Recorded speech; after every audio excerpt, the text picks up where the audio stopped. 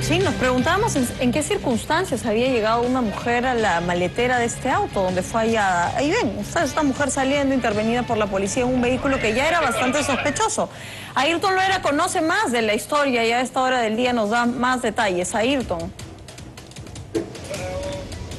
¿Qué tal compañeras? Buenos días. Un hecho bastante inusual en realidad al que ya al parecer le hemos encontrado explicación. es que nada menos se trataría al parecer de la esposa de esta mujer que se ocultó dentro de la maletera de este vehículo verde. La esposa de la persona que iba al volante, del chofer, quien al parecer compañeras estaba tratando de buscar si es que su esposo, quien iba al volante, le estaba haciendo infiel. Una situación además Claudia Pamela que la puso en grave peligro porque esta mujer iba al lado de él. Eh, del balón de gas y bastante raro exactamente porque ellos no sabían explicar cuál era la presencia de esta mujer al interior de la maletera quien finalmente al parecer le dice a la policía que era la esposa del chofer y para eso nosotros también estamos aquí con la alcaldesa Nancy Bizurrada para que nos dé mayor detalles aquí donde se recibe alcaldesa la alerta y finalmente se termina sabiendo que al parecer esta mujer era la esposa quien buscaba saber de una infidelidad.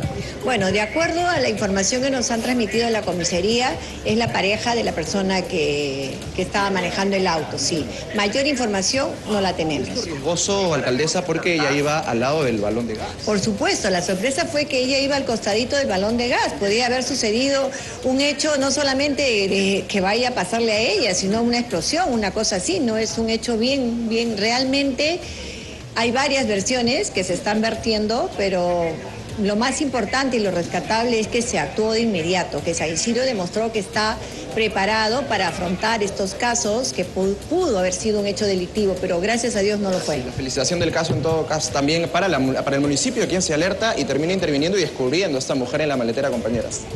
Bien, felizmente no ha sido nada que pudiésemos lamentar, porque efectivamente la señora ha puesto en riesgo su vida, se pudo haber golpeado, se pudo haber asfixiado.